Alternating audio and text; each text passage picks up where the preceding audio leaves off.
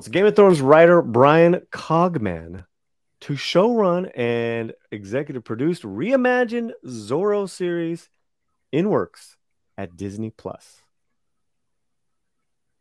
Bryan Cogman is attached as writer, showrunner, and executive producer of Disney branded television Zorro series project, starring and executive produced by Will Wilmer Valderrama.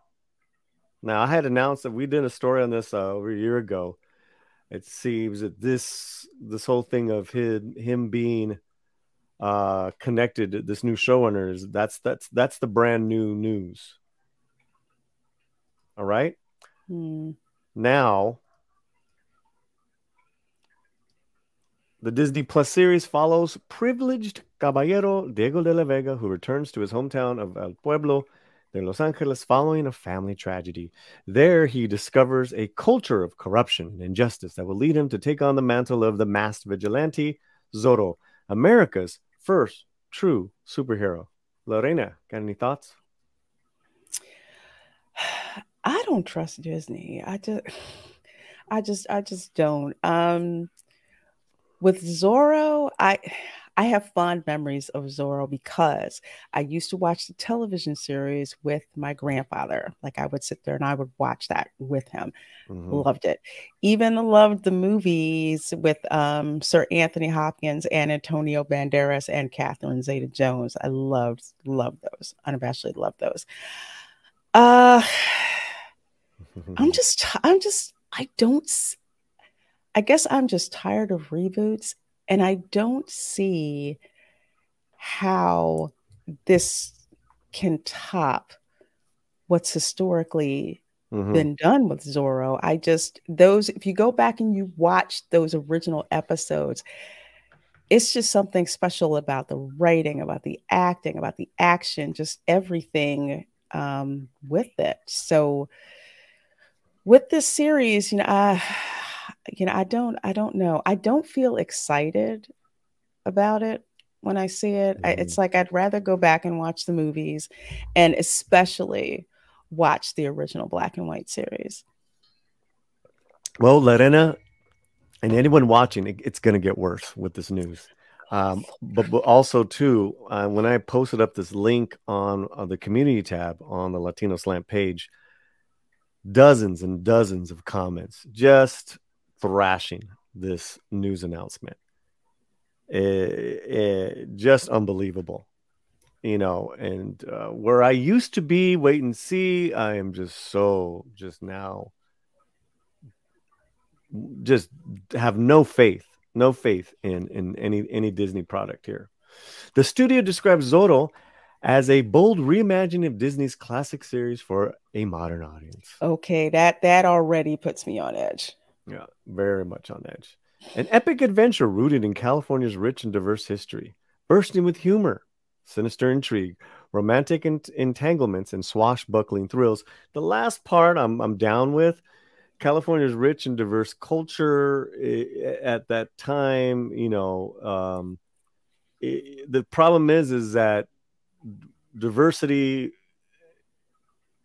is a whole different take in the 1850s and I, to see it through any other lens is is is not Zorro. It's not. Agreed. It's not. Now here's here's here's more trouble, guys. I'm sorry. Sorry. Cogman, the showrunner, spent 10 years and eight seasons on Game of Thrones, finishing up its run as co-executive producer, penning 11 episodes. For his work, he got four Emmys. Got a bunch.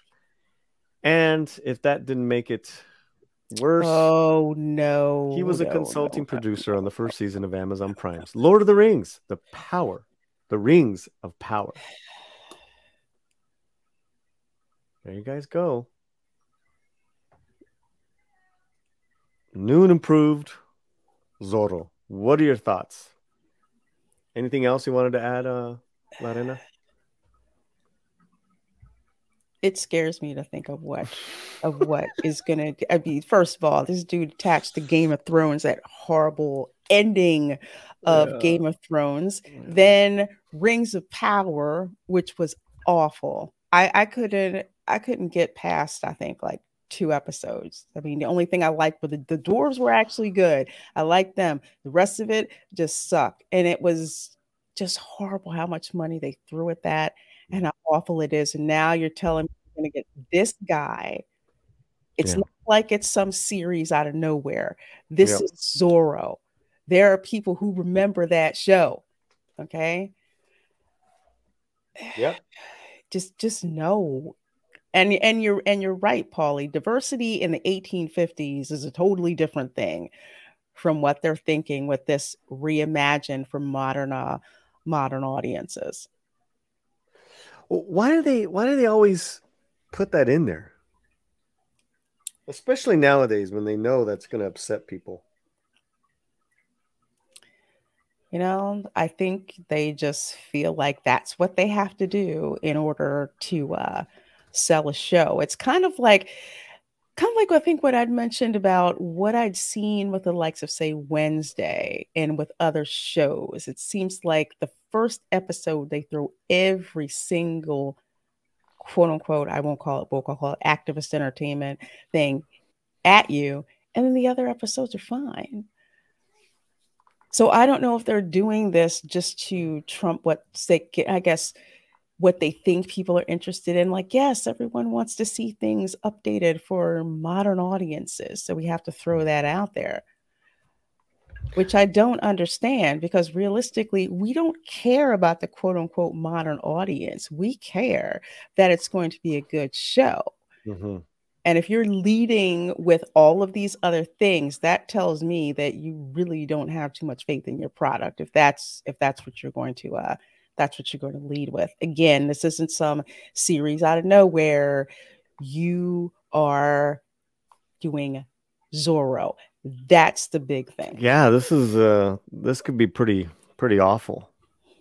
And um you know, Zorro was was um its main influence was was the legend of Joaquin Murrieta, and there's a there's a series in Spanish that is out right now on Amazon Prime that is just incredible. Same time era, you know, it's different because you know Joaquin was definitely more of a of a of a bandit. Doesn't didn't come, you know, um, came from some money from Mexico, but it was a different different whole different reality. But the reason why I bring it up is that it is 100 percent unwoke. There's just nothing just modern about it at all.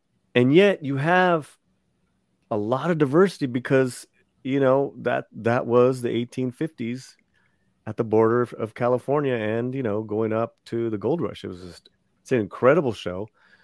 So if you want to see anything like you know a, a Zorro story, that's that's out right now, and I and I did review it um, but this this could be a disaster. So we got a lot of comments from you guys. And uh, leave Zorro alone. Wow. He's a Robin Hood of the Latin community. As a black kid growing up, I loved that character. Solomon Thornton said. Showrunner's biggest mm-hmm. credit to date was Game of Thrones, mixed bag. I'm still being I'm still betting at some point Zorro will become Zorita. oh my god! Don't think they hadn't thought about it. yes, Don Diego was a wealthy in the story, but the to use the term privilege bothers me because of the vocabulary of the Wokosos. I fear anything produced by that crowd. And that's what I was that's what I was saying. Mm-hmm. That privileged, are you getting at his skin color? Or am I gonna hear the words white Latino when you guys describe Zorro when this thing comes out? I bet I am, and I'll be pissed as hell. So, uh, but this is great. You guys uh, had a lot of thoughts. Look at this. Wow. You know, and uh, I really appreciated you guys. That's why we did this did this as our as our main topic. So thank you guys.